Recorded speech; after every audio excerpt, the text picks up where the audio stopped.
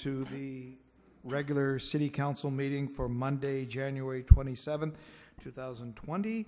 Can we have the roll call, please? Councilmember Condit? Here. Councilmember Durossette? Here. Vice Mayor Ryno? Here. Councilmember Kline? Here. And Mayor Vierra. Here. Next, we will have the invocation by Pastor Dick Connors of the Ceres First Baptist, followed by the Pledge of Allegiance.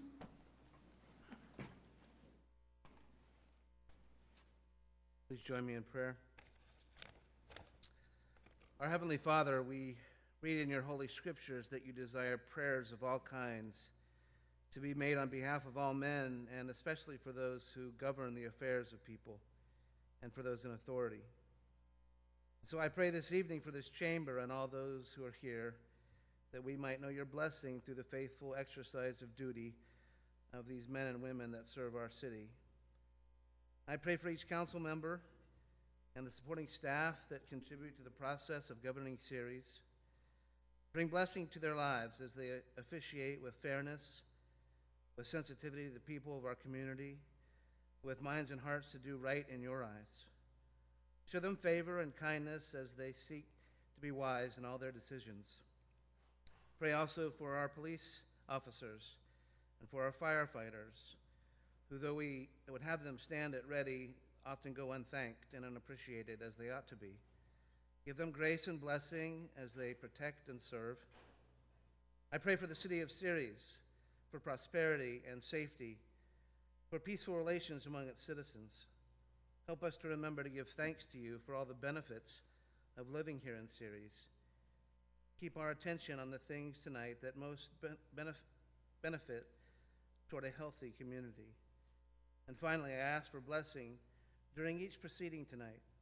May we find a way to work cooperatively and for the good of all.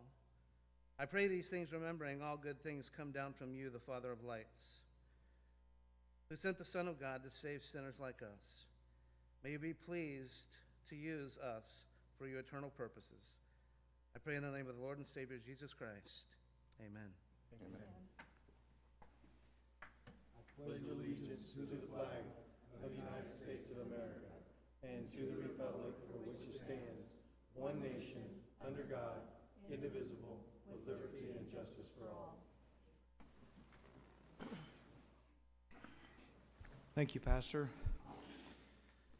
Okay, we have no presentations this evening, so we will move to citizens' communication to council on matters not included on the agenda.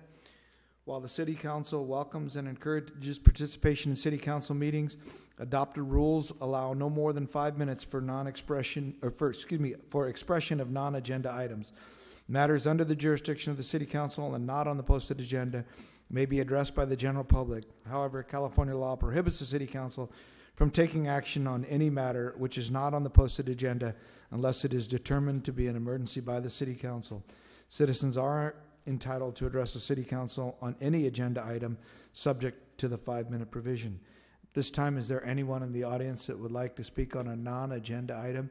If so, please come forth and state your name for the record.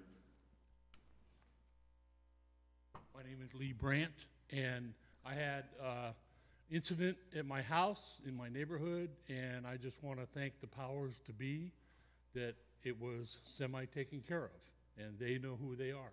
Thank you. There anyone else?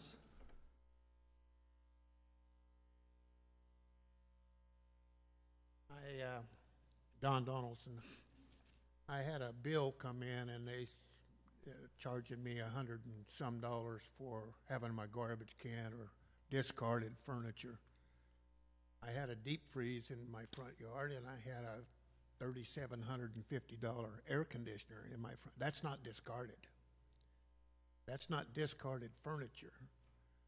My uh, freezer went out and I lost a lot of meat, and you can have the fire chief go through the logs, and I had fire trucks coming up and down my road looking for a fire, and I had the tri-tip stuck on a fork showing him, and they come in with a, a SUV, and I explained to him what happened.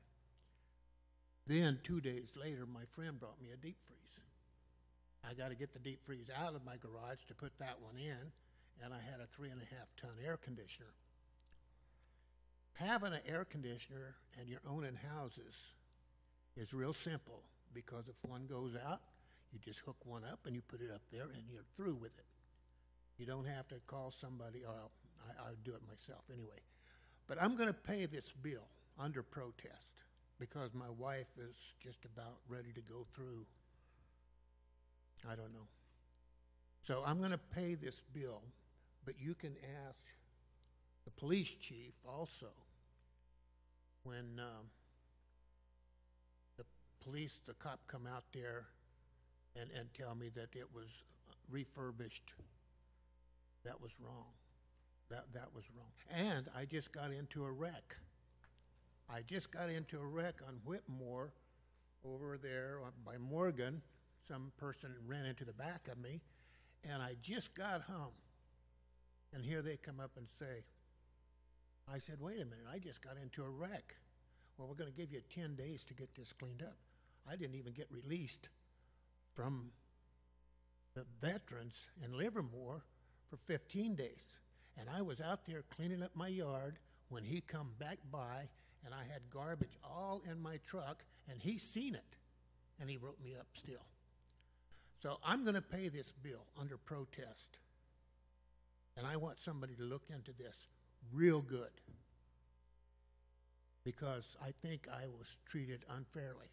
And I'll go into this. Mike said if you leave a, a, mattress on, on the sidewalk and it's enough to get a wheelchair through, then it's okay.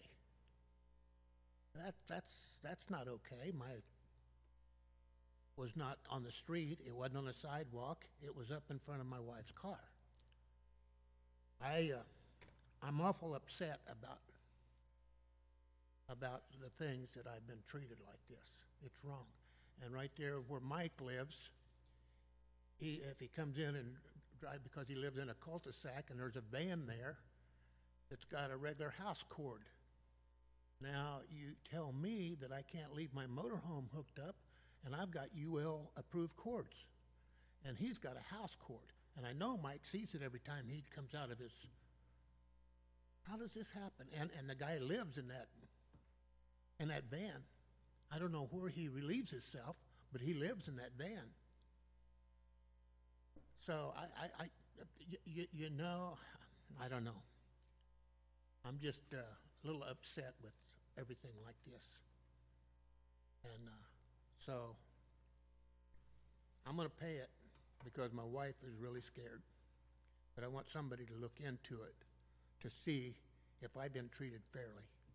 And I've got a lot of papers that I can, even the city manager wrote me a letter and, and apologized because they treated me wrong. But they're still doing it. Thank you. Mr. Wells, can you have someone look into that? Of course. Okay. And, and could we all know what the outcome is? Yes. Is there anyone else?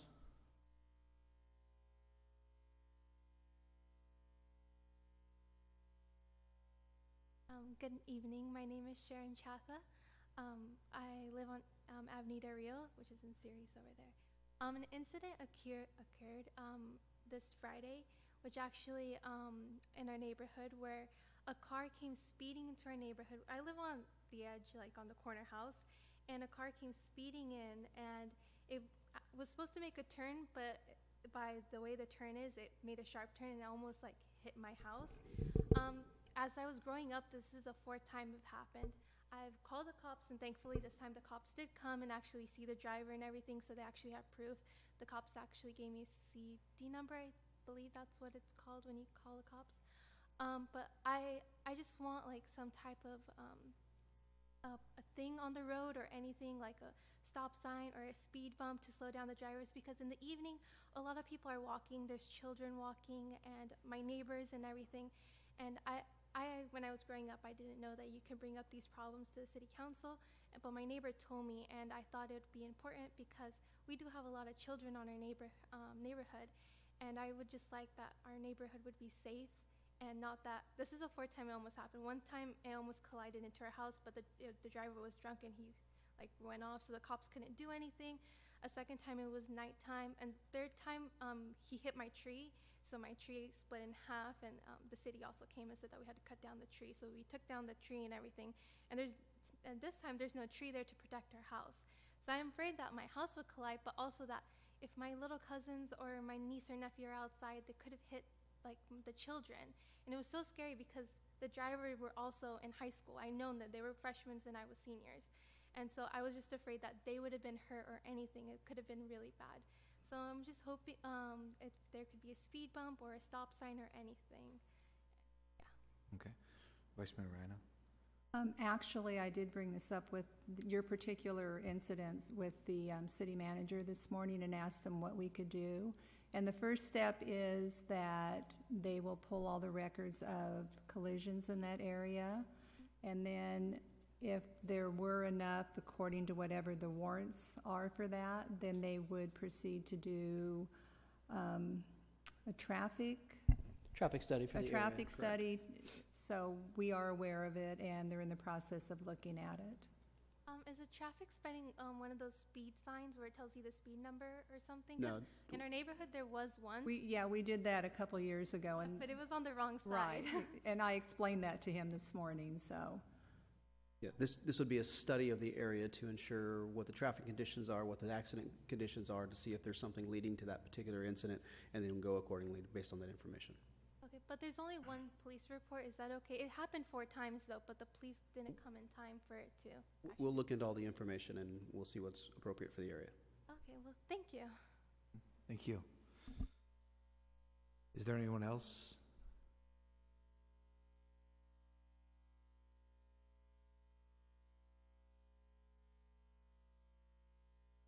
Sheila Brandt. Um, This, I guess, is an IT question.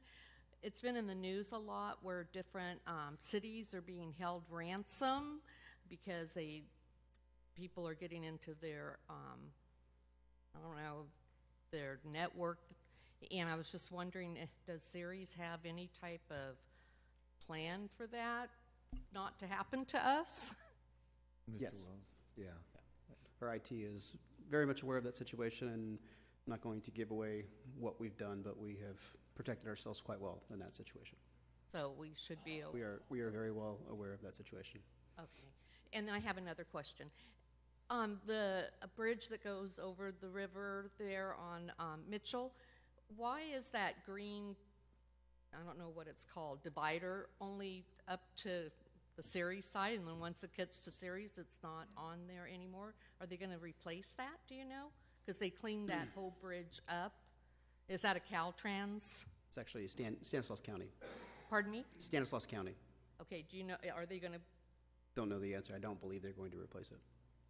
I noticed it was new, so I suspect that they went up to the county line or the city limit line and stopped, but I don't know. It's a glare protection, right?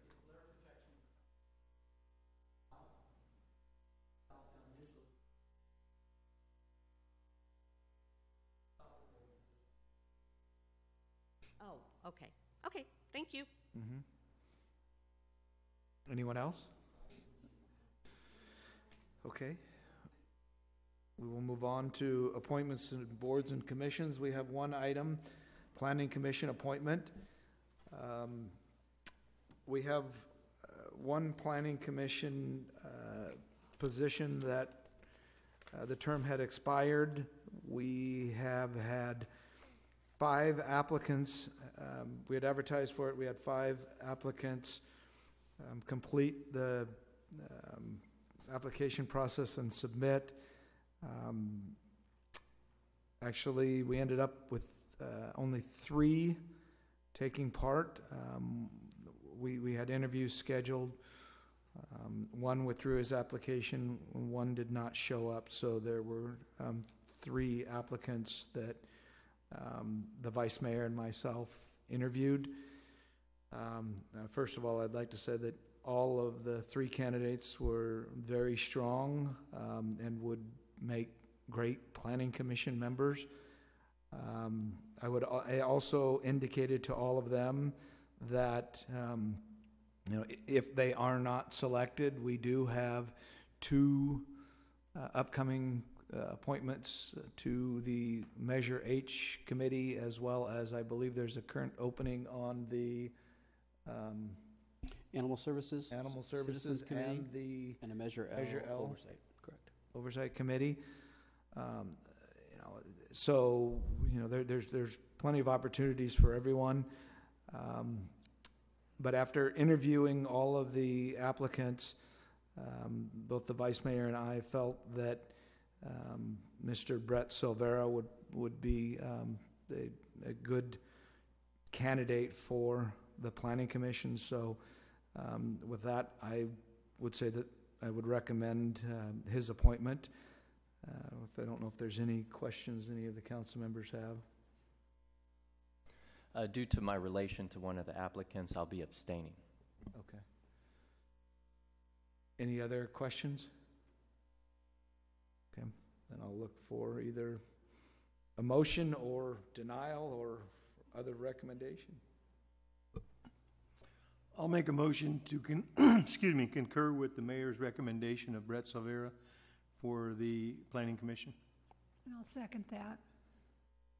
Okay, we have a motion and a second. Can we have the roll call vote, please? Councilmember Durossette, Yes. Vice Mayor Ryno, Yes. Councilmember Kline, Yes. and Mayor Vierra. Yes. Motion passes 4-0 with one abstention by Councilmember Condit.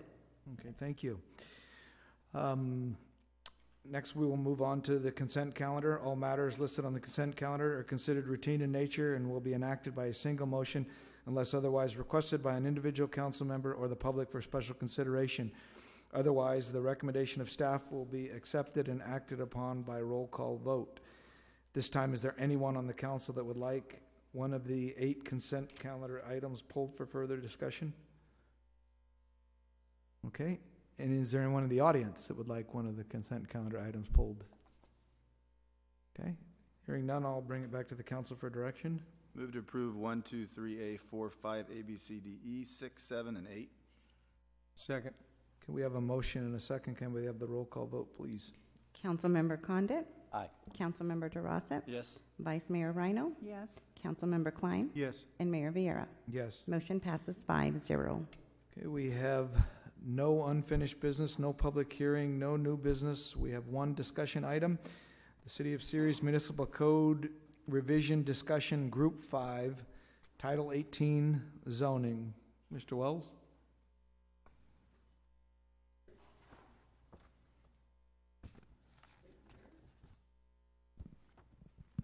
There we go. Testing, testing. All right. As I've been indicating in our little analogy here of the mountain that we are climbing, we have now reached the top of that mountain in terms of the uh, mountain of paperwork.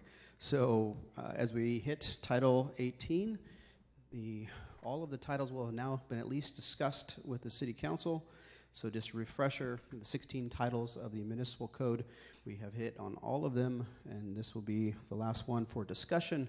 The rest of them, as shown here, we've completed those first four groups. We're in progress on the others, and then here we are this evening discussing Group 5, which is Title 18. So just a refresher of the schedule. Uh, we'll cover that kind of at the end of the meeting as well, of what's next step. But this evening, discussion for Title 18. And as I mentioned, it's a very large title, 334 pages is the current draft. And we'll jump right into some of the issues that we've addressed, and then we'll look for council direction on this item. so, as it's referred to, Title 18 is really the zoning code or the zoning ordinance, which is reflective of all of the rules and requirements regarding uses of property within the city. Primarily, the overall uh, tenor and tone of the zoning ordinance has not really changed substantially, um, mostly updated for current law and reflecting the changes that have happened since the last time this code was um, comprehensively updated. We also looked at it in, in relation to our general plan to ensure that the changes in general plan will now be reflective here in the zoning code. So the uh, process, just like we've done with others, uh, started with the city attorney, who sent the document back to us after a red line. We made comments, sent it back to them. Another iteration back with staff. And you'll see in the document are still some red line comments uh, showing that, that dialogue back and forth between the city attorney uh, and primarily for the zoning code was myself, uh, Mr. Michaels, uh, who's here in the audience, as well as Mr. Westbrook. Um, the three of us tend to spend the most time, especially uh, James and Tom, spending the bulk of the time in these items, as this is where most of the entitlement questions come in. So most of those comments will be between the three of us. We met internally as well as with our legal team to um, work through all these issues and get them to the form that it's in this evening. Um, as with the past, this is still a draft document, so there's still um, plenty of changes that need to be made before it comes back through the process of a public hearing and then officially uh, adopting it uh, as an ordinance.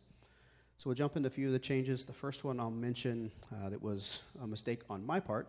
Um, we were trying to add a new title um, for R5, which is a high density residential um, component section of the code, and it got missed in some iterations between us and the city uh, attorney. So, and it was missed on my, my part. Tom did his part. I didn't get it inserted in there, and it got missed. So, that's something we'll be adding um, to reflect the housing element. So, in our housing element, we had to have a, something in our municipal code zoning for something above a density of 20 units. So, this R5 category, consistent with our general plan, uh, will be added to the, the Muni code. It'll read very similar to the other code sections that you've read of R3 and R4. It'll just be reflective of that higher density.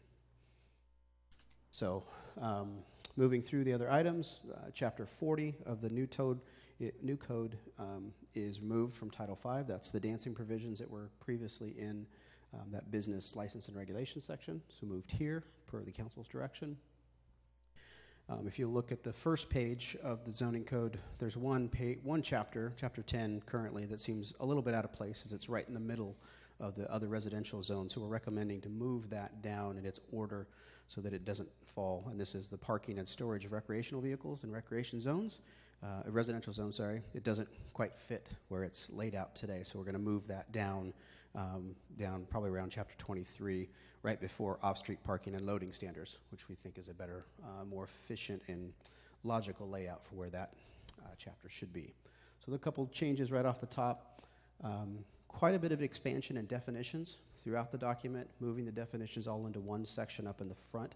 So you'll notice the, the definition portion of this document is many, many pages, over, over, over 30, I believe, um, pages of definitions. So those are important. Uh, those definitions flow through the whole 300 pages, so those definitions are critical and they were updated. The example I mentioned there for ADUs or accessory dwelling units. The state law changed. We needed to update our definition of that, and that's reflective in the document. Also, made changes throughout the document um, relative to the methadone clinics. As the council recalls, that particular item was not identified. It is now in the zoning code as something that would require a CUP. So the requirement of a conditional use permit would now be for methadone or clinics or anything of similar use. One of the bigger uh, changes is the reflection uh, in the ordinance regarding the sign code and quite a bit of language we had to change to be reflective of a court case that was uh, pretty significant in the regulation of signs uh, in the Reed versus Town of Gilbert, which is really cascaded through a lot of local governments on how we regulate signage. So a lot of the, the comments from our legal team uh, in the sign portion of the ordinance is relative to be consistent with that um, aspect of, of case law. It was handed down in 2016, Nubia? 16? Yeah. And then a couple of last little changes. Um, free, freeway oriented sign changes, so this would be your monument signs. Um, think of this something similar to what is in Turlock by Monte Vista Crossings, those large monuments. Today, we have a pretty stringent limit on monument signs. Those what, are, what you see in Turlock would not be allowed under our existing code. So we are proposing some changes uh, to allow a little more flexibility for those freeway-oriented signs. That different than what uh, is in the current code for billboards. So this would be a separate monument sign code with a change. And we can get into those details, but just kind of hitting the highlights. Um, myself, Mr. Westbrook, can answer any of those specific questions. And the last one uh, is fence heights in residential zones. So as the code reads today, fence heights um, between residential properties is six feet. Um, what we're recommending based on some interactions on code enforcement and others is to change that to seven feet. The issue that we have on a regular basis is someone replaces their fence and they put a different size kickboard. So, i.e., on the bottom of your fence, most people will put a, a 6 inch or a 12 inch kickboard and put their fence pickets above there. And most of those fence pickets are, are built or cut to six feet to start with. So when you put them on top of a, a uh, kickboard on the bottom, you're already over the six feet. And depending on he, how you are relative to your um, back or side yard neighbor, there could be an elevation difference between those two properties up to a foot. So depending on what side you measure the fence, you could have a, a foot difference, and then you're already over the six foot maximum that we have today. So we're recommending uh, to change that to seven feet um, to give a little bit of flexibility for the overall um, iteration between property owners. It should cover most situations. So um, that's a couple of the, the bigger issues. Again, there's 334 pages. We'll go as far as the council wants to go through this. If it gets to be too much, we can push off to the next meeting or go as far as you can or as long as you want. So turn it over to any council questions. Tom, did you want to add anything relative to the Yeah, just, um, just briefly on the, the sign, uh, the, the freeway-oriented sign, we heard through the general plan update process that the council and the planning commission both wanted some more, um, latitude. And so what's being recommended is a sign height of up to eighty-five feet. Um, current code only allows fifty, and then the square footage allowance is hundred and eighty square feet today, and we're recommending five hundred, about two and a half times more. So, um, that puts us more in line with, uh, the neighbors within the county. Okay. So you're looking for direction on how we want to handle it? Does Uh, someone if want you to want- start with their sticky pads or just go? I- I see a bunch of, uh, I don't have as many as Linda. I don't have as many as Linda. whoever Why wants to don't- start Why don't first. we start, and then if you have something at my page, then you interject, or you start and I. Well, you've always started, so let you go first. Okay. But I start on page three. Well, then you should start. I start on page twenty-four. I ju- I'm just asking on page three, um, the comments that were made, uh, towards the bottom. Um, please explain, are you talking just RVs or side yard, for the side yard or all structures? Um, there's a comment that was made about, um, adding a definition based on a nuisance. Yeah, so the we basically expanded the definition there. Apologize for the glasses. I'm getting old. I can't see this stuff back and forth, and I'm blaming it on the Muni code. So back and forth is Muni code. It's all it's all the Muni code's fault for losing my eyesight. Um, so the provisions here is expanding that definition so that it could, could apply to um, the ability for someone to put a covered area adjacent to their property for the storage of an RV. That's was the that that conversation you're seeing is that that expanded definition. Storage for everything or just an RV? It What I- could what- be. Okay, so yeah. here's, here's, here's my question why. Okay? There's a lot of people that have RV covers and they go right up against the fence line. But then there's other people that put, um, a structure that goes from their house to their fence, fence line that is maybe eight feet, seven feet off the ground. They put, um, vines on it and stuff that are a nuisance to their neighbors. Tom, you want to? Think that this, um, this expanded language, uh, was something that we tried to come up with to address, address one of the concerns of one of our constituents that would come to these meetings about these types of structures. And so what we're trying to do is allow provisions to say that if you have a side yard that's big enough, that you could have a cover, an accessory cover in that area to cover your boat, your RV, your trailer, whatever it is. Um, certainly, those structures, um, they're accessory by nature. Um, in discussions with the fire chief, certainly somebody building something on one side of the home, we want to make sure that the other side has a clearance so that our fire guys could get to the rear yard. Um, a lot of times when you have these types of covers and trailers and so forth on one side, it's very difficult for somebody to get around the trailer on one side. So the definition here is trying to give some provisions to address existing conditions and the de- desires of some of our folks in the community to actually have these types of structures on the side of their house. But So it, it- it it would only apply when you had enough room to not encroach into setbacks. So it does not apply to like a, a lean? a five foot side yard setback, it wouldn't apply to that. Okay. Is it side yard or is it behind your fence? It could be rear yard. Side yard or rear yard is the way the definition. So definition side is. yard is in front of your fence, No, behind your fence. behind your fence? Side yard setback generally is from the extension of the house, the Yeah. forward Okay. extension of the house. So, so these wouldn't be permitted in the front, they would have to be in, in either the rear yard or the side yard.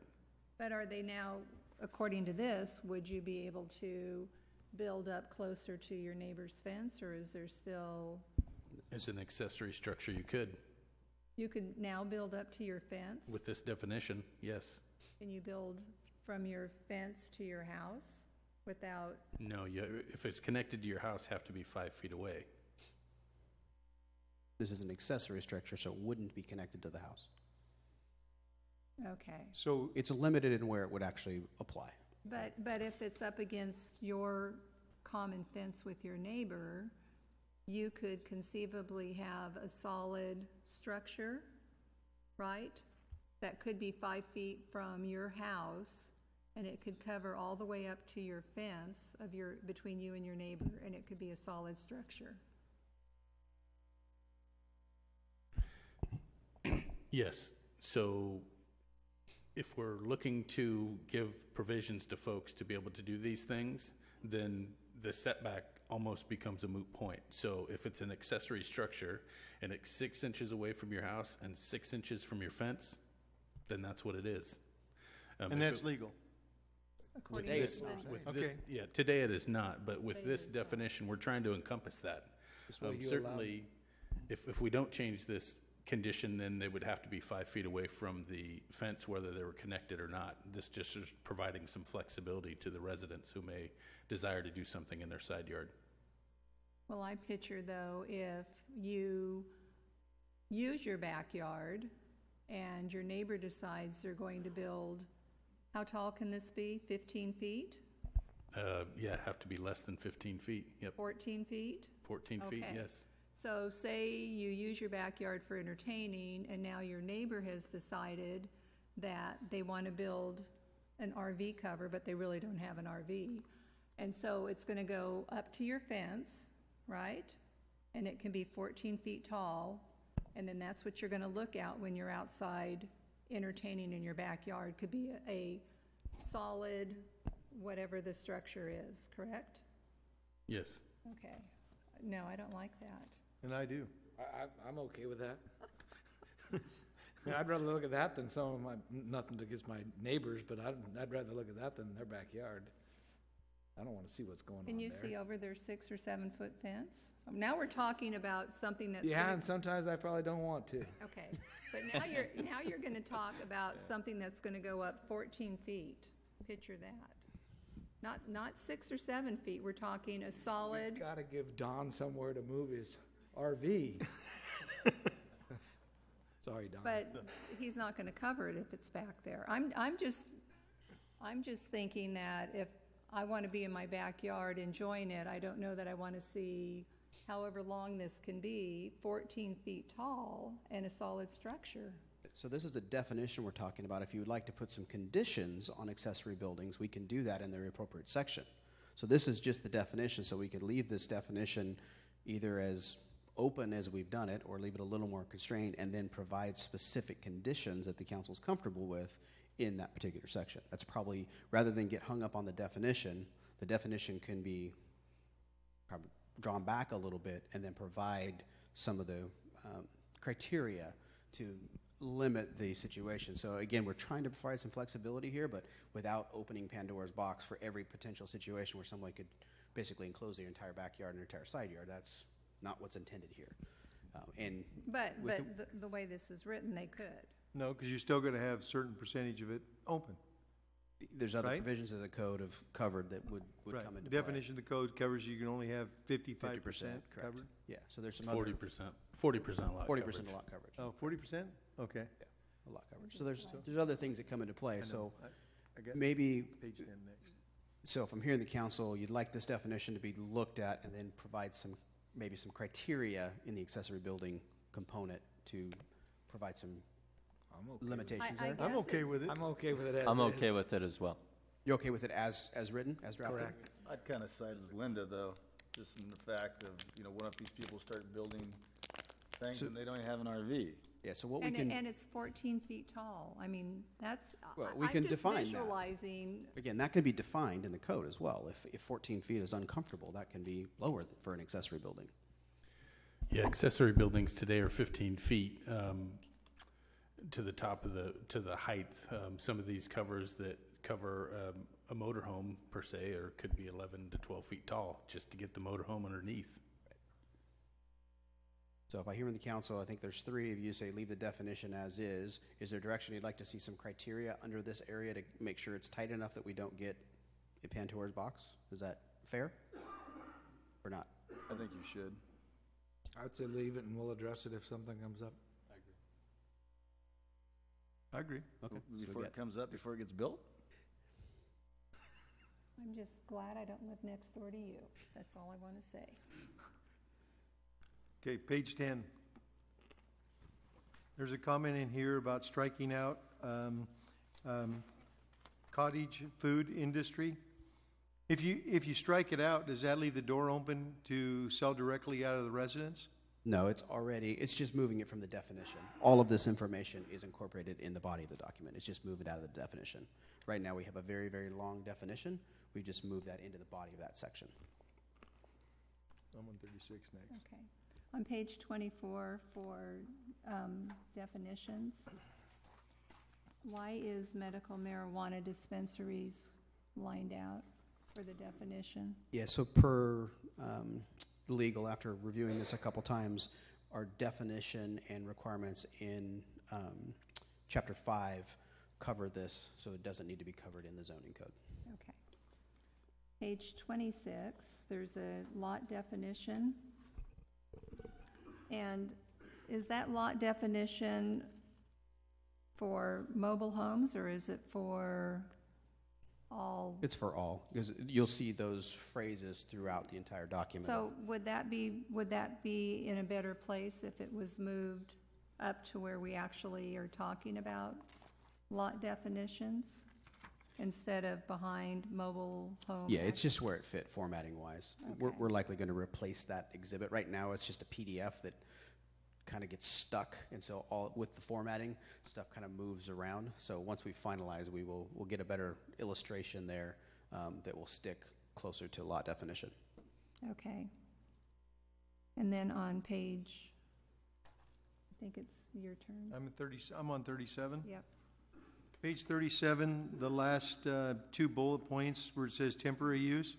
So how does that, ad- how does that address the street vendors? That would be separate. The street vendors would have their own permitting. This temporary use would be with an ad- a uh, administrative use permit. Again, that's just a definition. So this would be like your your fireworks stands and your um, Christmas tree lots. So you're talking just seasonal type vending? Yeah, we might need to might need to check that B. A is fine, but B we may need to check. Well, and the that's where I attorneys. got my little asterisk is yeah, on B. We'll, we'll double check that relative to, to Title Five. Okay. Yeah, I think Toby, when, when B was created years ago, it was for the folks that were selling uh, flowers from like Yes. flower shops. We'll probably need to put a reference there to uh, tie that to Title Five, where the uh, business license requirements are. Page 43, 1803.060. It's just a typo. The city council may form a committee. Informed should be deleted. Yeah.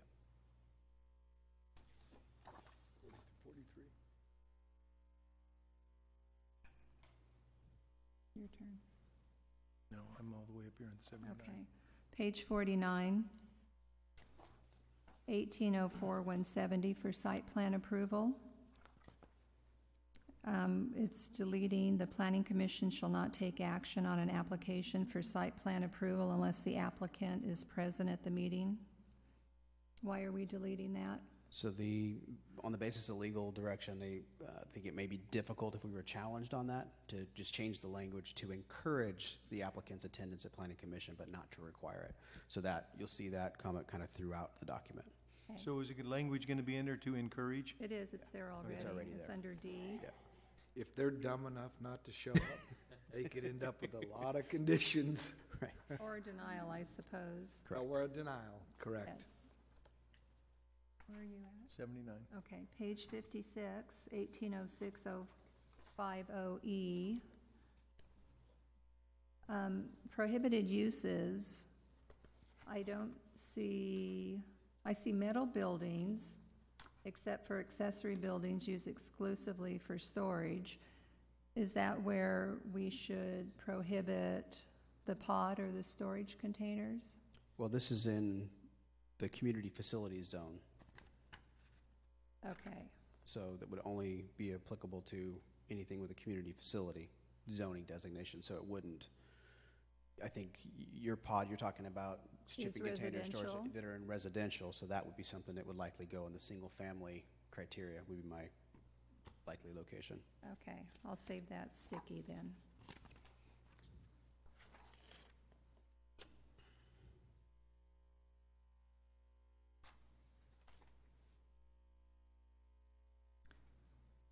Okay, that one Tom explained to me already, so we'll move on. That was about the 12-foot, oh, no, no, no, we need to go back because we need to make an edit there, right? we need to make an edit because it, wherever the Page. discussion was about the three, three-car garage, it should have been left in and it was deleted. Which, which page was that on? Do you recall? Didn't note that one. Tom and I did No. discuss it today, but I did not note the page. Um, It might be on page 66.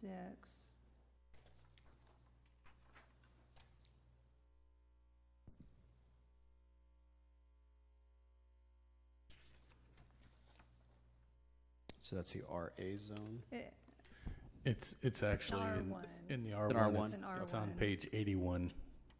So we're not there yet. No. Continue. Okay. What page are you on? Seventy-nine. Okay.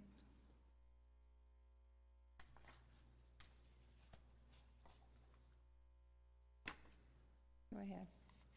Seventy-nine, it's eighteen oh eight oh five zero. Because it's been brought up before the council before, how does this address commercial use trailers? You know, there's a gentleman that, that has a, um, gooseneck trailer that uses it for commercial use and parks it in front of his house at times. Well, this is the residential zone, so this wouldn't be, wouldn't reflect, this particular zone wouldn't reflect parking of trailers. That would fall under um, that other section, I believe.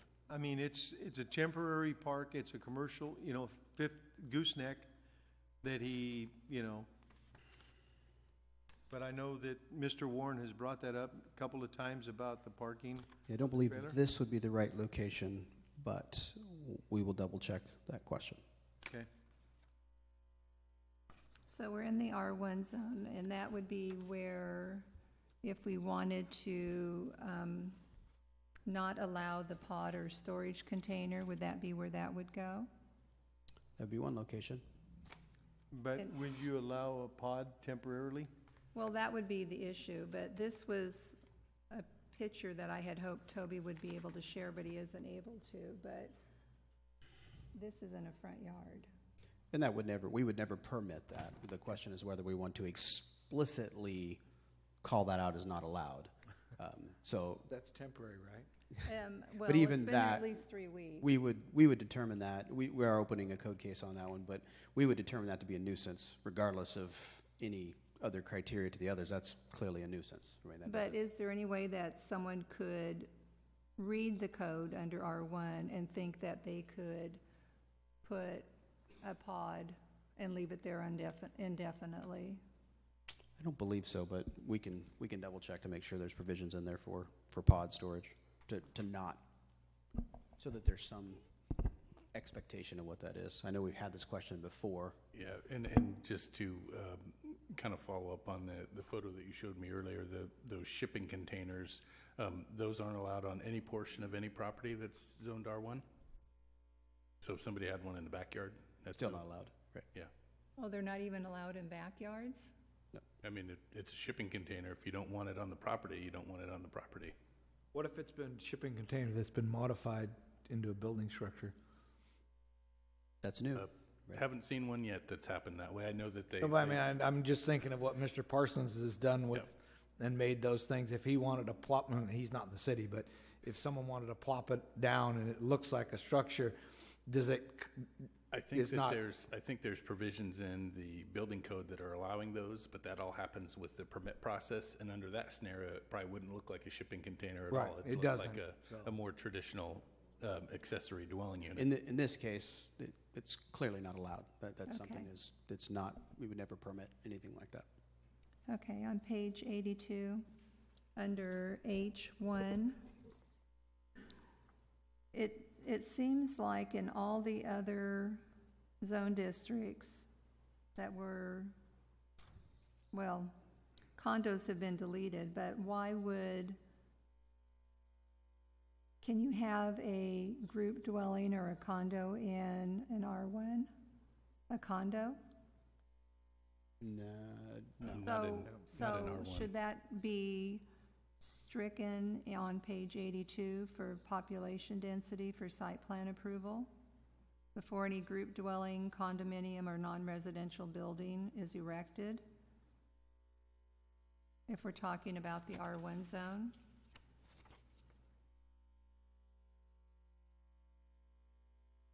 Well, technically, you could have a condominium that is, that meets that definition, right? So condominium is a type of land use.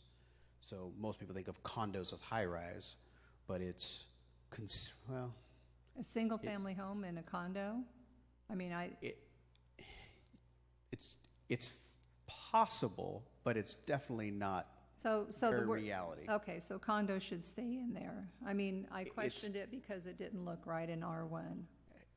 Again, it's conceivable, but I mean, I think in, I think under our provisions here, it would be extremely difficult to have a condominium project in the R1, so probably striking it isn't a bad thing. I don't think it's going to hurt anything, but I don't think it, I don't think it hurts one way or the other. I don't think it leads someone to think they can do a condo because all of the other provisions block you out of that in an R1 zone.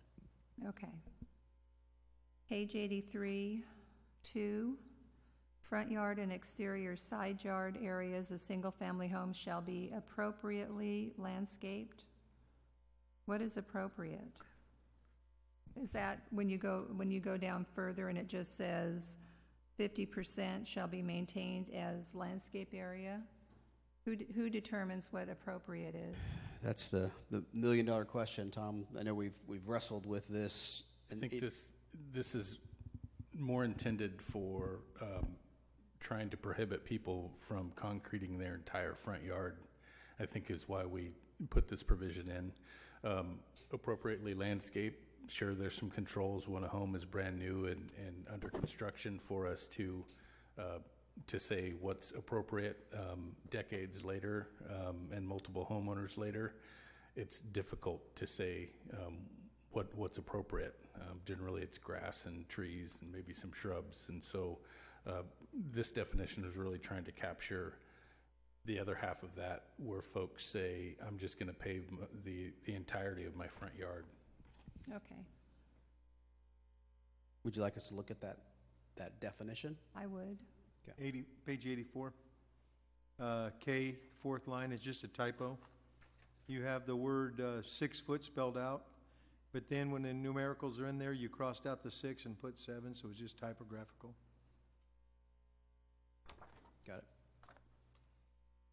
Page 100. About the eighth sentence down, there shall not be more than two recreational vehicles parked or stored within the front or exterior side yard of a property. So if you can have two, and you could park it on your side yard and in your driveway, right? You could do that instead of and then a car. So you could just have the whole front of your garage area with vehicles. I believe this is the existing, Well, it's underlined. but it's the way it comes across from the previous version. Um, Tom, Yeah, I any- think that there was, you know, the, the potential that somebody had a cargo trailer and a boat in the front of their house. I mean, if it's one, doesn't necessarily make a difference to me. It was just trying to give some flexibility, but under the circumstance, if they had a side yard, they could have a trailer in the side yard, a boat in front of that in the driveway, and then another RV vehicle. So typically, they, I mean, somebody could conceivably have three on their property at one time. Under the current code, or uh, under the proposed code. Under the proposed, it's two, Mm-hmm. but currently, how many can they have? I don't believe there's a restriction. Okay, So I think that's why we were trying to put a Trying to- number in. Put that okay. as specific as possible so that someone couldn't stack three boats. Can you add li- livestock trailers in there too? Because I, that's what my question was for, for that section too. Well, I thi- is this about recreational vehicles? Right. This is, a- the whole section, the whole chapter is about recreation vehicles. It wouldn't, you would be excluded from that. Unless it's an RV trailer for your cows. I think that's a So, stretch. I think that's a I- I difficult guess it's- definition. I guess it's what the council wants, if they want to allow two or one. Currently, we don't believe there's a limitation. So Okay. This, we think, is a little more flexible, at the same time, putting some outside parameters on it. So two is better than unlimited. That, that's a council policy decision.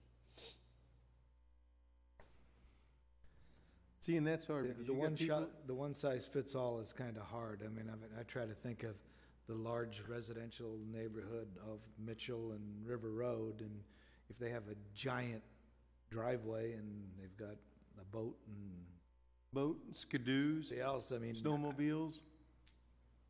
I mean, I understand what you're talking about, um, but on one hand, I mean, I could see it both ways. A- And again, it's a discussion, so, I mean, this, we could leave the language as is, and you can chew on it when it comes back for public hearing. There's still, you got two more chances to, to make some changes here, and you can take public comment and decide that you want to. Do you like leaving it unlimited, or do you like it? Well, I think it should be unlimited to a degree because there's people that have an RV trailer, boat, s- skidoos, you know, there's snowmobiles. I mean, when you start looking at that, most of the time they're gonna put something in storage. Well, no, but they can put as many as they want behind the fence. This is Yeah. in the front yard. The, the garage, you know, the, the Oh, in the front driveway. yard, This is the front yard. front, this isn't behind Yeah. the fence. Okay. So this is, according to staff, they now could line up from their side yard and their two parking places on their driveway and line it all up with recreational vehicles, and that would be okay. And what they're trying to say is to limit it to two, which maybe is better than what I was thinking is one, because then at least they still, but you know what the problem is then? I just thought of this. If we require, do we require two on-site parking places for single-family residential? Hmm, Yes. Okay, so if we require two, and they've got two in the driveway, and then they have a side yard, but now we're gonna say they can park two RVs, well, then they just now, or does that count as one of the parking spaces for their off-street parking? Are you It- It talking- really, it really doesn't, because they're not moving it in and out. Mhm. Okay. You see what I'm saying? Mhm. So basically, we're going against what our code says, that they have to have two parking spaces. And now if we say they can have two RV spaces, they could park one on the, We're not suggesting they can have two RV spaces. We're saying there can't be two RVs in the, in the uh, street side view. in the, s- in the what? So if they park the boat and the trailer in the driveway, that's perfectly fine. We're not suggesting they can build two.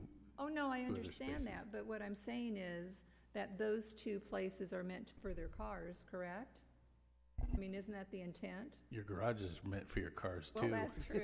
And mine, mine do go in the That- garage, That's the two, okay? that's the two required spaces Okay. within the garage. That was my question, the two required. Is it the garage or is it the driveway? Two covered parking spaces, generally that's going to be Okay, accomplished all in your right. driveway and then the two, uh, or in the garage and then two in the driveway. So essentially, you have four parking spaces if you have a two-car garage. Okay, thank you.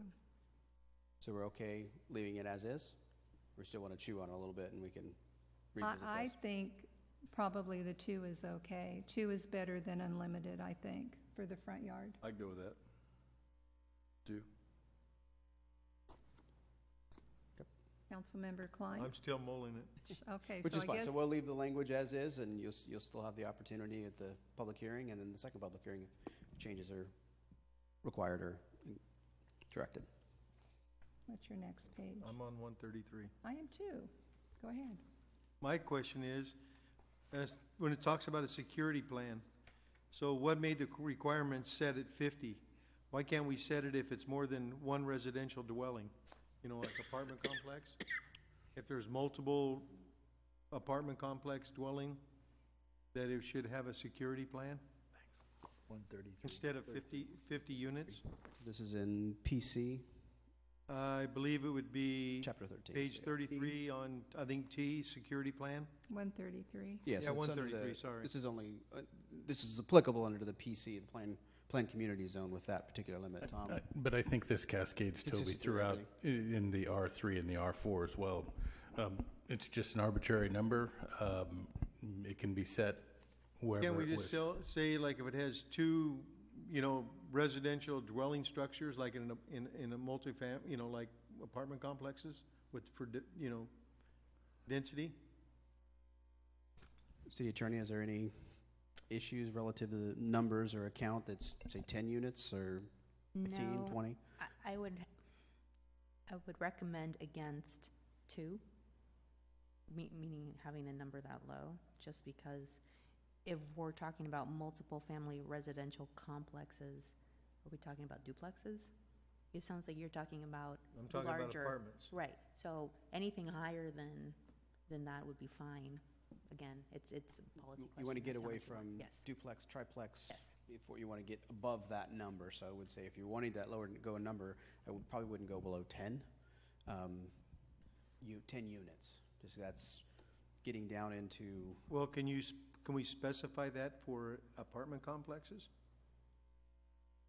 I believe the language is in there. It's currently at 50 in all the other zones. And so essentially, if that change is made to whatever number it is, we would just, Change we it Change just it all the way. take that all the way through. globally change it for everything. But you're speaking about specifically calling out apartment complexes Correct. as like an example. Correct. Right. Yeah. But in this case, we, Yes, any multifamily residential, Right.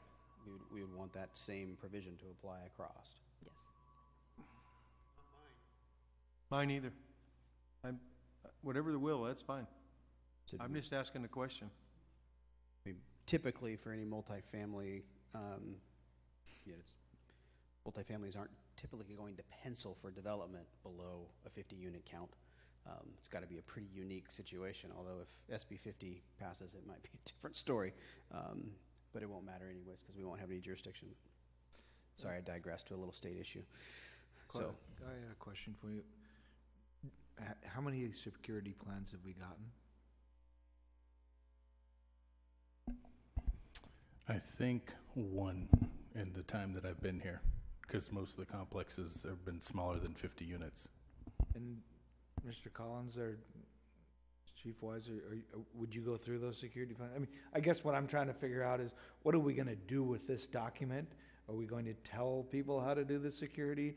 Or is it, because the reality is, if I'm a buyer or a resident there, and I would be the one forcing the security plan. But if we're gonna force them to do a security plan, and we're gonna take the document and just throw it on the, you know, on the desk, and nobody's gonna look at it, because it doesn't really benefit us, I, I don't know what the benefit of it I is. think this is probably a holdover from former codes. I think that the California Building Code tells us a lot of life safety issues now, and buildings are just designed that way. Um, any of the owners willing to put in a significant investment into a multifamily uh, property are going to secure their property in the manner they see fit. So, under that scenario, I don't know if there's a lot of value in this. Um, th- this Yeah, I mean, I'm, I'm assuming through the building, you know, plan checking and everything else, we're gonna see what kind of security features they have, or we're gonna mandate those. I, I mean, I don't know, who who prepares a security plan? Is, is there firms that do that, or? a registered professional security Yeah. plan preparer. I don't, I I don't just, know. I'm just trying to look at it and say, what's the value in that? an I mean, RSP, I'm not gonna go buy in there or live in there if it, if I don't feel secure, and I don't need a plan to tell me that. That, that's just my, I'm just trying to be practical here. Yeah. If, if, if we're not gonna use it, then strike it. I mean, Well, do you think, I have no problem striking it. I'm sorry to interrupt you, Mayor, but I have no problem striking it. I just asked the question because the number was thrown out there. do you think, Tom, that originally the security plan was so if something bad happened in the complex, then fire or police have some plan that they can look at? I mean, is that the intent, you think? Perhaps it could have been some type of evacuation plan or in the, in the event of an emergency, But what we ha- happens? But we have that now. If something happens, they usually contact engineering or building and get the same information, correct? Yep. Yeah, so. We're Then it's- generally. Then strike it out. Yeah, we're reviewing the site plans early in the entitlement process for any of those particular issues, from an access or any of those. So I, I think in today's day and age, I, I, don't think there's any issue from city attorney of striking that I altogether. mean, if it was an evacuation plan or something like that, I, I could, it's more I could specific. understand that. Right. But a security plan, are we looking for where they're gonna put alarms? What type and of all security those we're looking things? for, yeah. Without specific criteria, it doesn't seem to have much value. So we're comfortable. We will strike that across the board in all of those zones. Page one thirty-three, recreational vehicles, and I'm assuming that those are prohibited because it's the PC zone. Would that be why? That's, I Okay. believe that, where that, where that came from. Yep. In that particular zone. Because don't they typically have a separate storage area or something? Yeah, they, that's typically what they have in some of those uh, condominium projects. They have an area where they can park and store their RVs for that complex. Okay, thank you. Page one forty-eight and forty-nine. Please explain to me the difference between B four and B seventeen, um, as it is in eighteen fifteen zero twenty. Um, B four says delicatessen, um, that you shall, oh, never, um, wait a minute. I, I read it wrong, I apologize, so scratch, scratch that, we're good.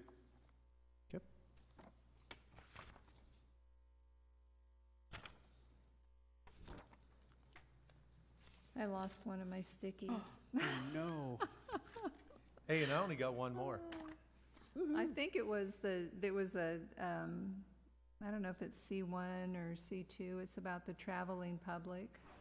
Which, which zone would that be? About, the definition is the benefit of the traveling public.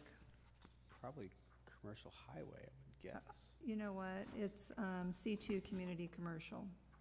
So, C two, Page. no, that's not it.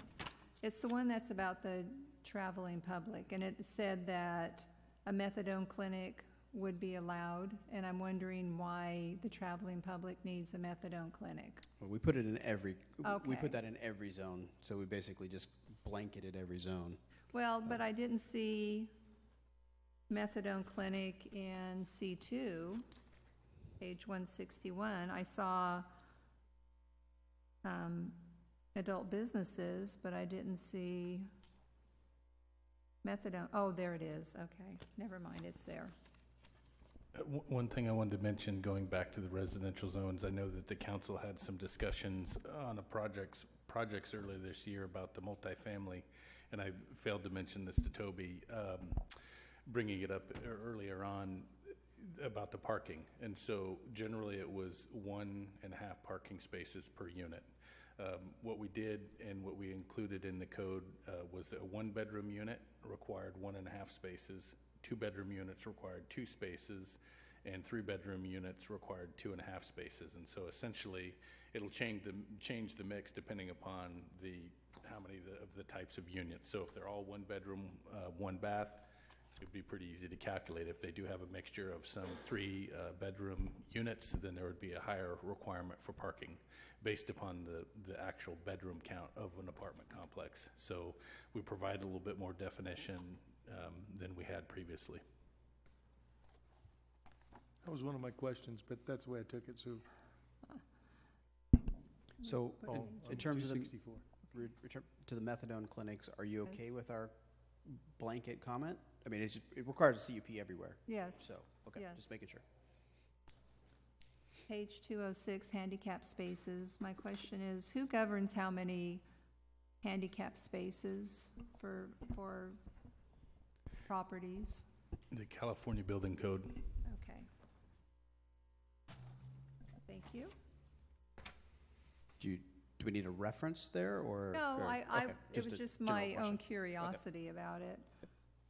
Um, under the zoning for the signs, I'm on page two sixteen, and I see windblown devices and signs. What about sign waivers? You know, the sign people? I- Are they exempt? I know I that in thought planning, we we always would tell already had that. people they couldn't have them, but I don't see it in the zoning ordinance. And what page was that again, Miss Ryno? I'm on page two sixteen. So you're looking at prohibited signs, yeah, so it starts on two fifteen, so it's at the bottom of two fifteen and it goes into two sixteen. But don't we prohibit the, the people standing on the corner with the signs and dancing around? I thought, Yes. yeah. Yeah, I we thought do. we did. Well, I, I thought we did too, but No sign twirlers. I, that's what it's, the sign twirler. Yeah, I didn't see that in No here. automated sign twirlers either. Well, it says moving, swinging, rotating. Um, signs within the public right-of-way would get the sign twirlers, because if they're standing on the sidewalk, we own it. Right, so, in- But, but. But you would like us to, we can add some. Yeah. Uh, Just say, Well, signs I within the think- public wa- right of way, including but not limited to those folks twirling signs, you know, some Well, I language think there. sign twirlers have, has to be pointed out there because they're not gonna look and see if it's in the right of way or not. Right. Yeah, I think that's probably the right place to add it is there. We'll look at other, because I know Turlock just did a similar thing um, in their code, so we can steal their language here as well. We'll Uh, add. I had one on two oh nine, there's a typo. Two oh nine, eighteen point two five point oh three oh, first sentence. I think it's supposed to be from, not form. Uh, Yes.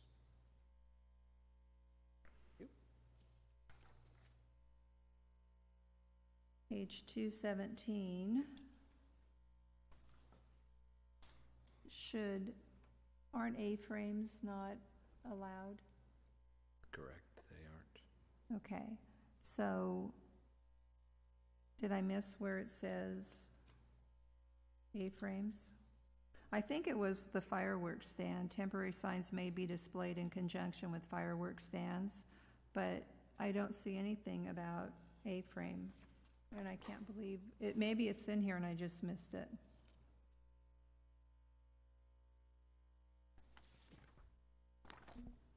under prohibited signs on page two sixteen, uh, I just saw it here, F. F. Has, in- it says including A-frame Okay. signs. All right, thank you. And then, one of Mr. Wells' discussion items, freeway-oriented sign changes, height, square footage. That's page two twenty-three. It says, um, an eighty-five feet in height, but then the last paragraph says the planning commission can't approve over one hundred feet. In no case shall the planning commission approve a request for any freestanding center identification sign above one hundred feet. I think what we're trying to put in here, and, and I added that so it can easily be taken out, um, was just not knowing the circumstance of future structures, buildings, whether they're, um, man-made structures in a form of a, a over interchange or a tree that may block visibility, just giving somebody the provision to get a little bit taller. Um, But then the, the tree keeps getting taller too, right? Correct. So there's always gonna be an issue, so There's they always that, probably just so- have to cut it to fit. Not likely to get a tree above that height, but it is, I mean, the likely locations that these would go is, you know, we're looking around the Service Mitchell interchange area where a structure for the interchange could, you know, have a significant impact on the visibility of that sign. So those would be, that would be the likely area where you'd want a little flexibility depending on where its location is relative to, you know, that type of interchange. Because you've got a, a structure that's thirty feet, you know, uh, for visibility purposes, it might need to go a little bit higher. That's providing some provisions there, but if the council's uncomfortable, that, that's an easy provision to st- strike and leave it at eighty-five. essentially, since we went to, from 50 to 85, I mean, you're getting the, the sign off the ground a considerable distance above uh, the ground, so it was trying to give flexibility, as Toby mentioned, but it's, um, staff's perfectly acceptable with the 85 feet. Or if you say, um, perhaps maybe we're just making the sign 90 feet tall instead of a 85. provision here. We, we just tried to mimic what other partners within the county, um, other cities had kind of done. So if it's 85 feet, happy with that.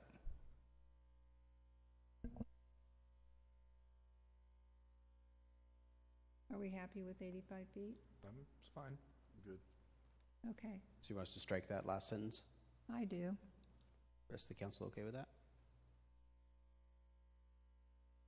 I seeing head nods. Doesn't matter. Councilmember Kline? Doesn't matter. Doesn't matter. Doesn't matter. Indifferent. We make that noted. Right? Okay. Page 229, final, um, section G, final decision. The planning commission shall hear and determine the appeal, and its decision shall be final. Does that mean they can appeal to the city council?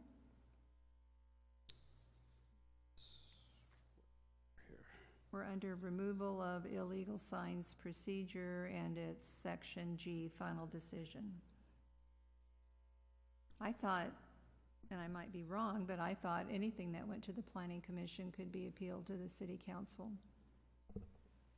I think it should be. Yeah, I think what this section is referring to is if I make a decision and then um, the applicant doesn't like that, they can appeal my decision to the city council, but I don't see why it should be restricted to just the planning commission either, so.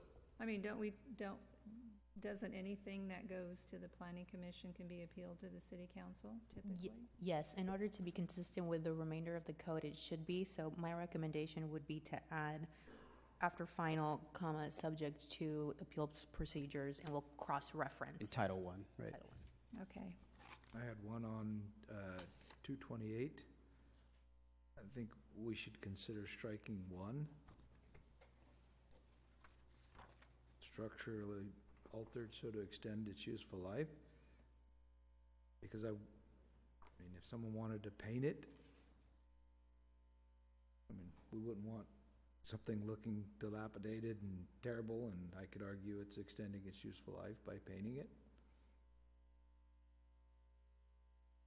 I would agree with the mayor. So strike one. Yeah. Yes. Everybody good there?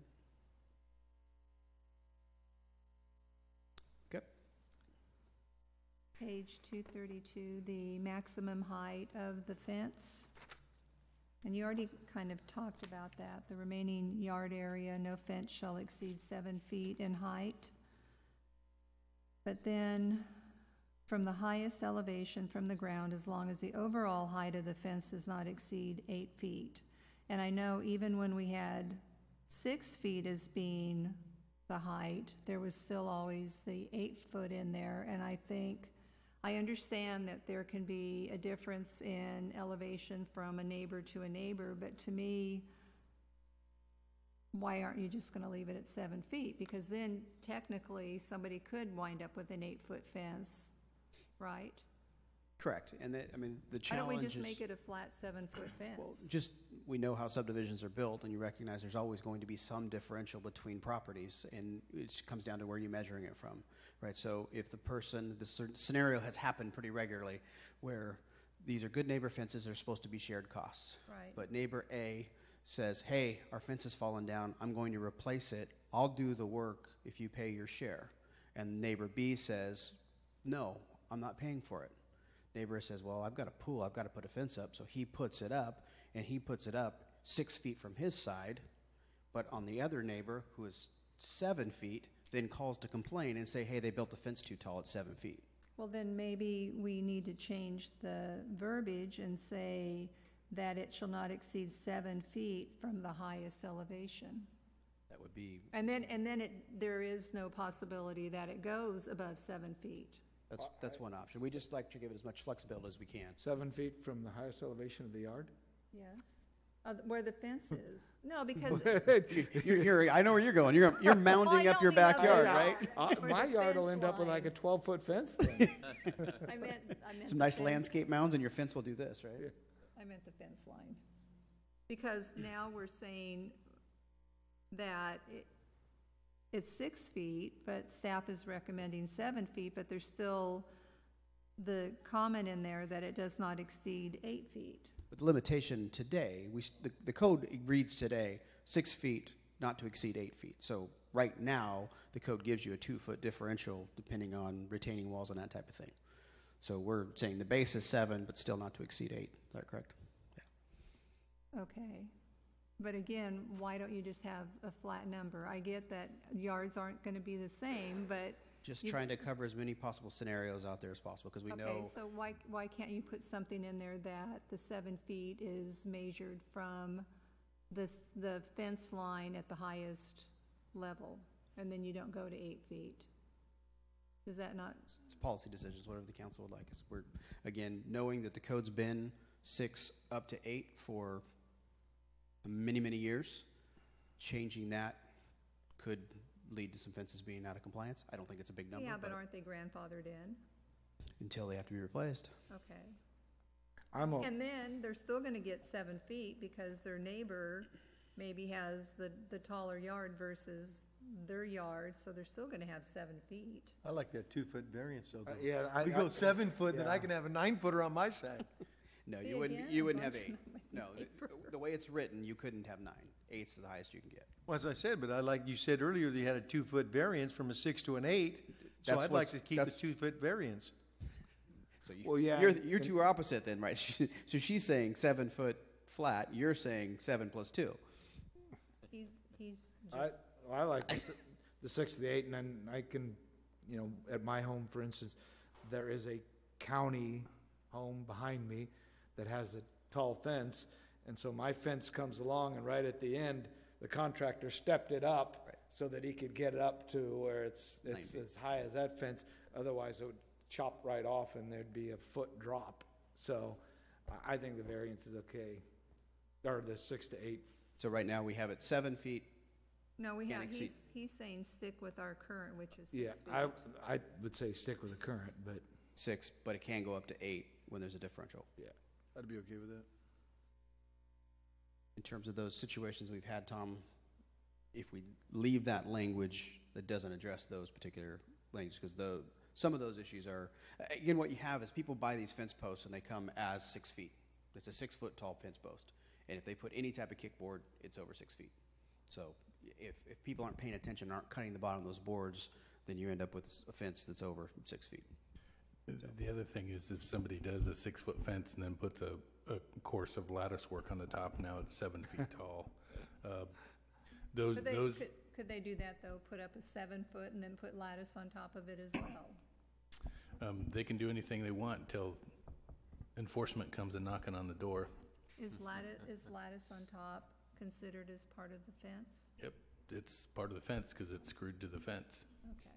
So um, I think that the reason that, you know, I put this provision in there and talked with Toby about it is um, in the nearly 20 years that I've worked for this city, one of the number one complaints that I get is how tall can my fence be? And at six feet, um, there's not a lot of latitude there, so we, we, we snuck in the suggestion to have it to seven, which recently the California Building Code said you can have uh, fences up to seven feet tall to give some of, a- some ability for folks to have a little bit taller fence on their, on their property. So I think at seven feet, it probably eliminates some of the code issues Most, yeah, um, within the community. Um, Maybe it doesn't capture everybody, but it gives people the ability to have a little bit taller fence. So, I'm, okay. I- I'm, I'm okay with keeping it six to eight, but I don't know how the rest of the council feels. I would agree with the mayor. So the, the language would read, no fence shall exceed, as it reads today, six feet in height from the highest elevation from the ground as long as the overall height of the fence does not exceed eight feet, measured from the lowest elevation. So So that means you can have an eight-foot fence. But that's only if y- you've got a two-foot differential between properties. Right, because on one side, it ah, can't be know, more than that's not what I was saying. That, so you can't exceed, see it, can't exceed six on, on Like the the low seven, side. And it can't exceed eight on the high side. To seven. No, I, I like the seven to eight, so, you know, seven-foot fence, Yeah. but it can't exceed eight. And the- And the reason why I, I'm- I can ag- agree with that is because, again, my yard sits up a little bit higher. I'm sure my neighbor would love me to put a taller, s- six-foot fence, because I sit up there, I can see his whole backyard. Exactly. And, you And know, they have that's a the swimming idea. pool, and they'd probably prefer me not being up there, you know, but, That's exactly what this provision is giving, your, your yard is the exact reason why we proposed the seven. So you're saying six feet, six feet? no, I'm, I'm saying whatever. uh, As it's drafted, seven. It's Seven, seven, it's drafted as seven, no higher than eight. I can, I, I, I like that. Okay. Yeah. So we got one, Yes. That's fine. two, Brett, you're good? Okay. Sure. Everybody's good. All right, we'll leave it as is. Thank you. Moving along. Page 239, aviaries. The consent, which is under B1, the original consent was the applicant shall obtain written consent of his or her immediate neighbors sharing a common property line and not less than 75% of property owners and tenants within a radius of 300 feet.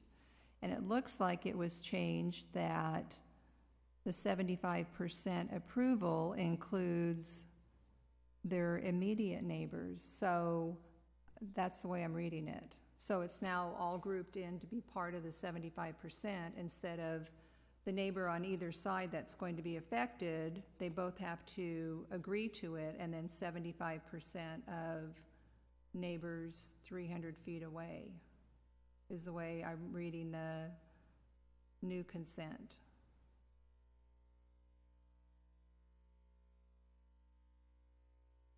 I think you're reading it correctly, Okay.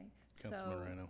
It's not right, because to me, the people that are going to be living right next door to the aviary, they should have, it, it should really, it's going to affect them more than people who are 300 feet away. So it should be the original consent, which was both people on either side of you, and then 75% of people that are within 300 feet. So is it just an and?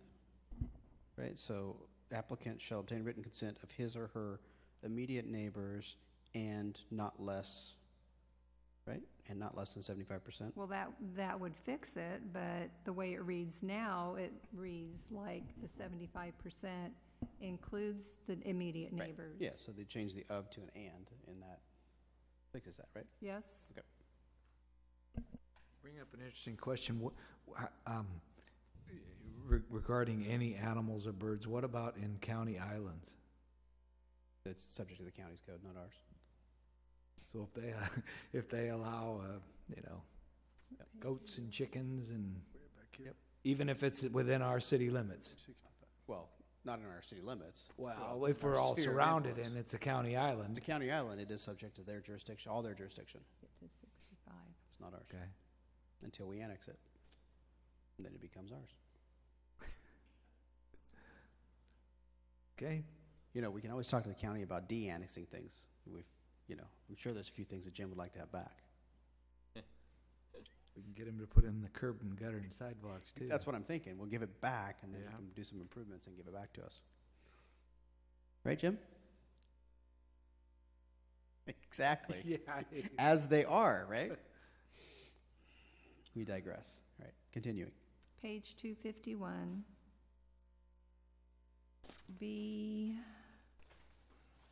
four, line two.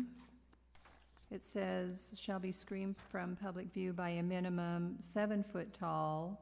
So the six-foot number was stricken, but it needs to, the six-foot written needs to be changed to seven feet. Yep.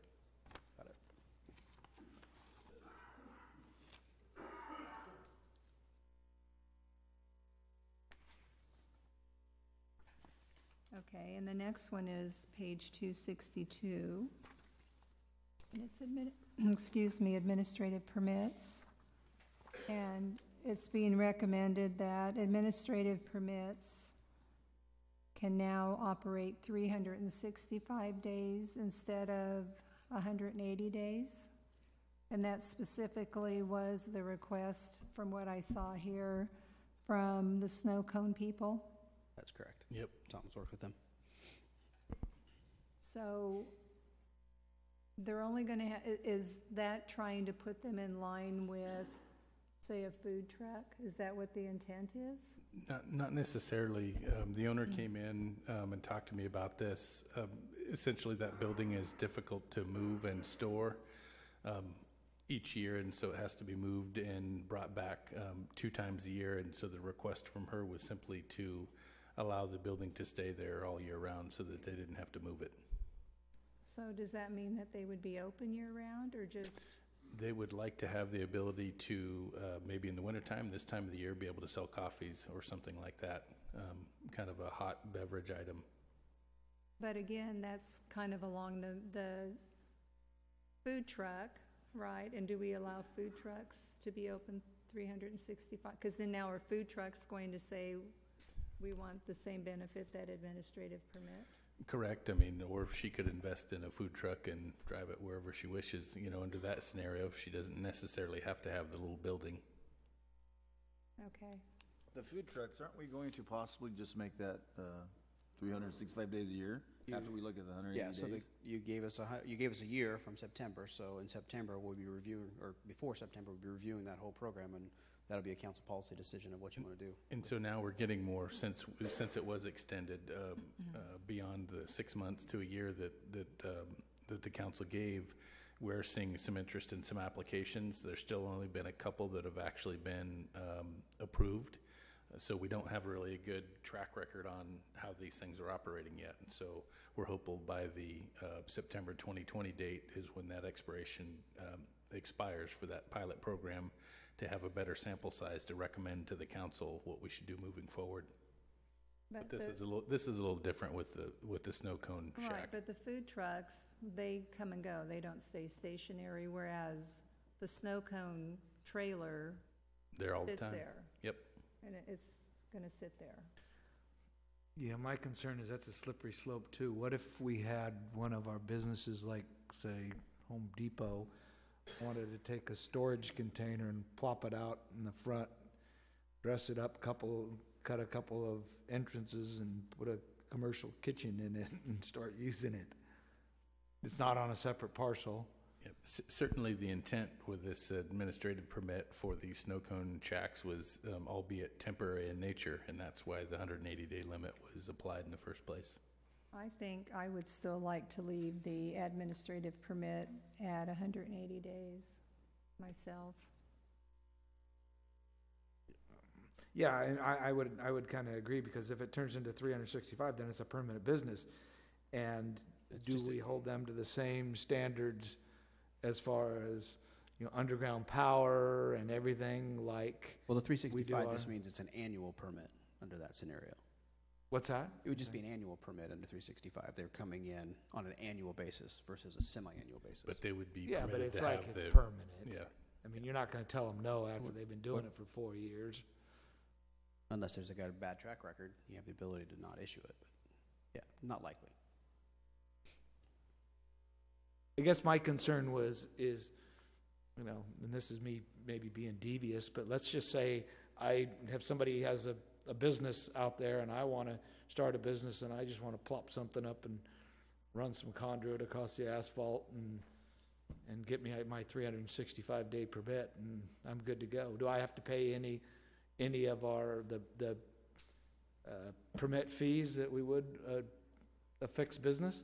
No, just an admin permit and then Correct. business. So we And don't get business the, we don't get the school fees and all that other things that come along with the brick and mortar. But they're operating every day like a brick and mortar. Correct. Yeah, So yeah. that, that, that, there's where I'm having a little bit of a problem with it, because we're allowing something that we are now fostering what we don't want. Exactly. Yeah, I mean, it's pretty unique. I mean, there's very few that fit this criteria. Doesn't matter Oh, whether but- it's but unique. they can. It, it could be the norm, So leave it as one eighty as it was because if we're gonna allow this, I know a great place I could plop a place down and not have to go through this. So, just a comment. I, I would like to leave it as it is, One eighty. one eighty. Yep. But there's four other council members. I, I'm gonna agree with you about one eighty. If it's three sixty-five, I would just say, then they need to go through the process of making that building permanent like every other business has to do. Yep. You, you can't have a three hundred sixty-five day permit and get away with the temporary requirements, if you know what I mean. That, that's all I'm saying. Is that gonna affect the food trucks though, when that comes back to No, us? that, in it- September? it's separate. They're mobile. No, That's we would separate. address, yeah. Yeah. Okay. all that would be addressed. Okay, moving on.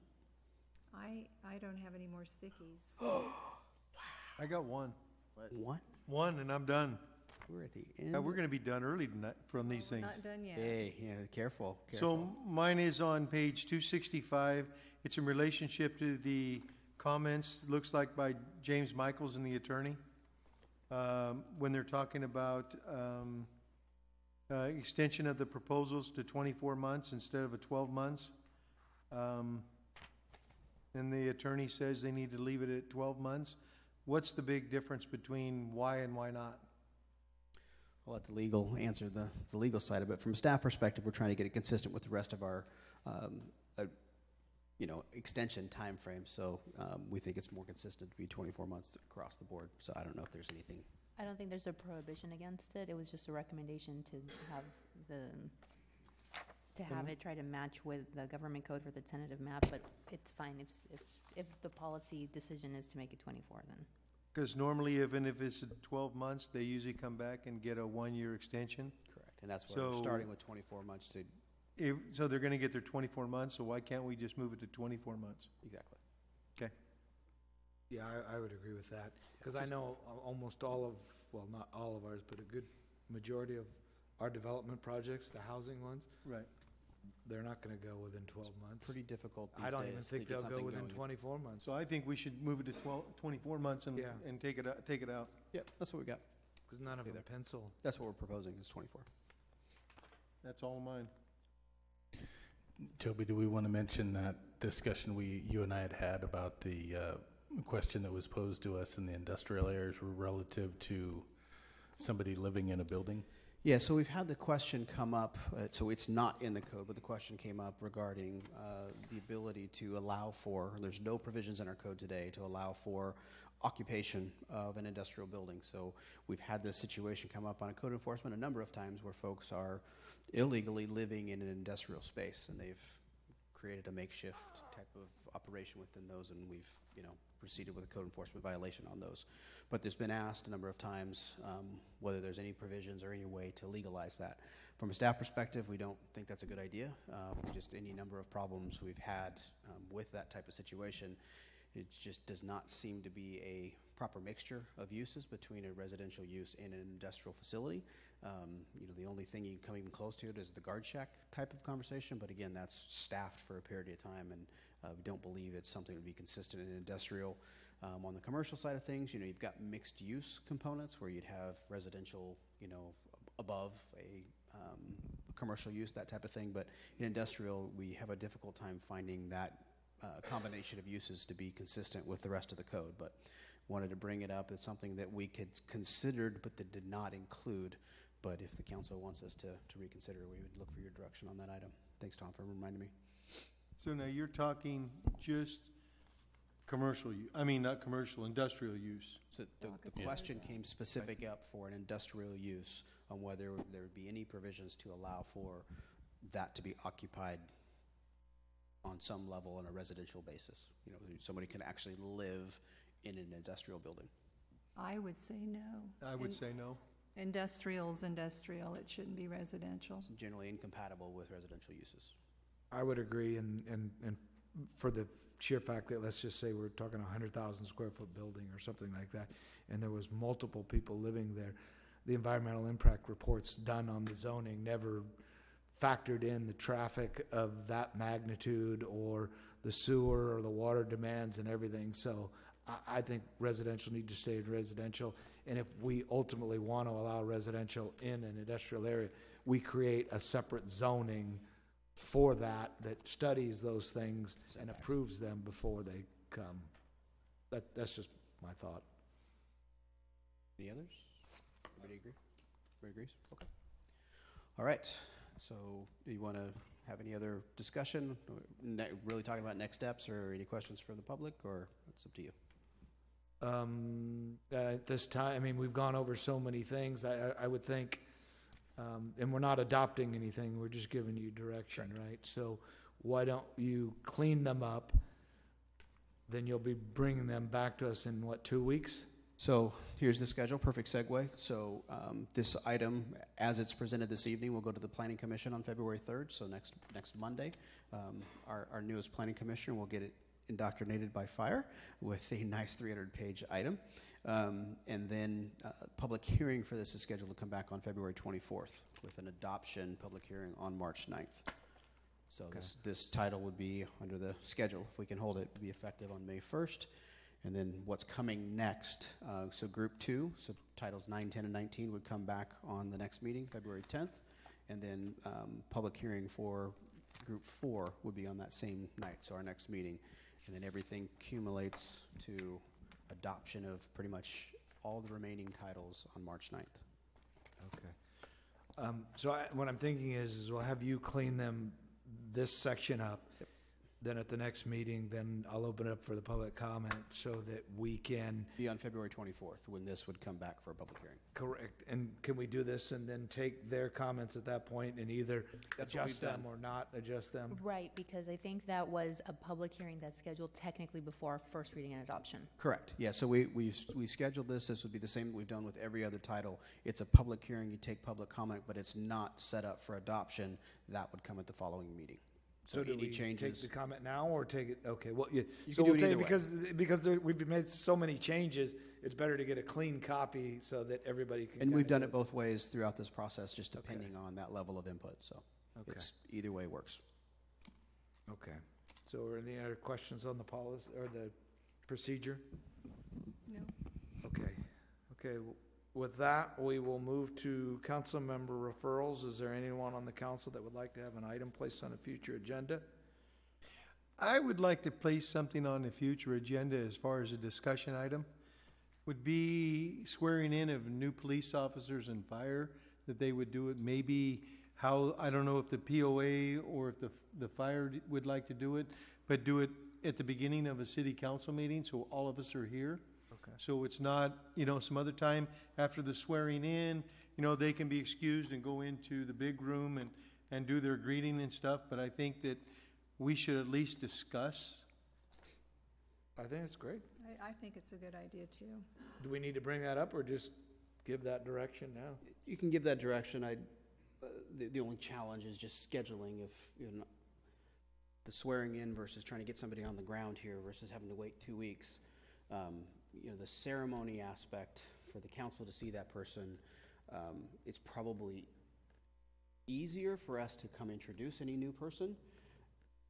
Just, I'm just a little hesitant timing-wise of waiting for a, a city council meeting or schedule with a city council meeting, because that's every two weeks, and if for some reason a council meeting gets missed, for example, over the holidays, we have a meeting in the first week of December, we don't have another one until January, we're trying to swear a new officer, we gotta wait. That's- That's my only hesitation, but we'll take whatever direction council has. Well, but- then we hire them all in November and we don't hire anybody in December. Oh, we sure wish it was that easy. No, I, Yeah, but- I- I heard him say he can make it happen, so. Yeah. But, it's- but I, it's- heard- yeah, because I bring this up because, you know, they do have a informal swearing in, and I did it, I did attend the last one, that, you know, an officer was informally swor- sworn in to, to get going and everything like that. And uh, we would just have a formal swearing in before the city council meeting. So, so the other aspect that I want to bring up is we've formed a committee inside our um, city staff that's looking at employee recognitions, and one of the uh, recommendations that came out of that committee, uh, their first meeting last time was recognizing all employees in a similar way when they come through, either at passing probation or some other way of bringing folks to introduce. So, uh, if it's okay with the council, I would, if I could have a little bit of time to kind of vet both of these concepts and bring you back a little, something a little more structured to kind of do both, right? So that it introduces new employees to the council, at the same time recognizes those police and safe, you know, fire, fire and, uh, police positions. Is that acceptable approach? Or, I mean, I, I, we, we can discuss this more when you and me meet one-on-one, but to me, you know, and I've talked to you about this before, about six months ago, um, you know, when it comes to public safety, it's a, it's a completely different aspect. So, and that's why I was asking for public safety, you know, to be sworn in, uh, before the, the city council. I mean, if you'd like to be a dis- the discussion topic, we'll have him put it on the agenda. Put it on agenda. Or could we even discuss that at our goal setting? goal setting would be a, Yeah. a perfect opportunity. we're It's all on there. February. That's 14th. fine, put it on the goal setting. Got it. Okay, Anyone else? Okay, we'll move to reports. Um, I have nothing to report. Councilmember. Okay. Okay, great. Thank you. Um, Councilmember Kline? Nothing. Vice Mayor Ryno? Nothing tonight. Councilmember Durossette? Nothing. Councilmember Condit? Sure, my next city office hours will be Saturday, February 8th from 12 to 2 here at the community center. Okay. Um, Letitia? Nothing? Nubia? Uh, Mr. Wells? Thank you, Mayor. Uh, Just a couple items to highlight uh, on your calendar is the Chamber uh, Installation Dinner is this Friday, uh, 6 PM here at the Community Center. Get your tickets before the event. They're not going to be sold at the, at the door. Um, Just to highlight that I will be attending the League of California City City Manager Conference. It's in a terrible little place called Napa, and that's the week of the 5th uh, through the 7th. Uh, And then just highlighting the Beautification Committee. Um, Invitations have been sent out to all of the committee members, and it is scheduled for February 4th at 5:30 here in the Community Center. So uh, we've got acceptance, and we'll be looking, look, working on a, an agenda to get out to the committee members this week. Thank you. Tom? Daniel? Rick? Kevin? Kevin, sorry.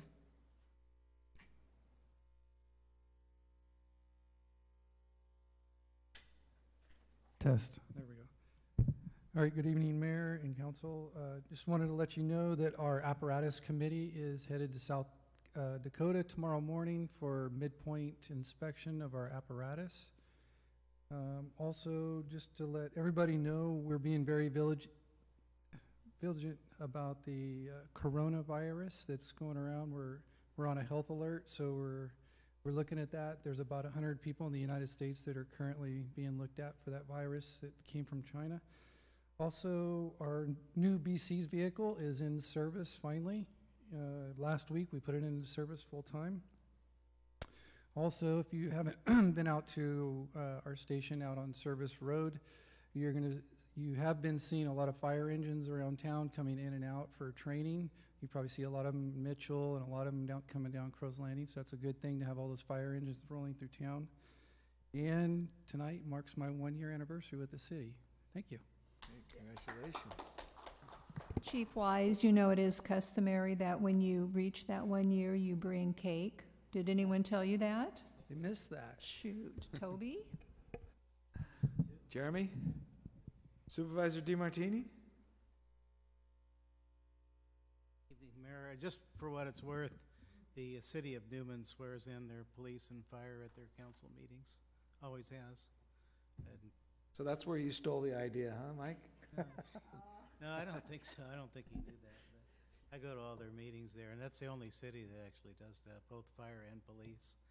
And then after they swear them in, the city pays for some cookies and, well, Nubia would know that because she, she goes there too.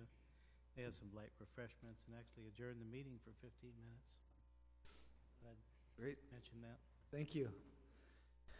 Okay, with that, we will adjourn to our next regularly scheduled meeting, which will be held on February 10th at 6 PM. Thank you.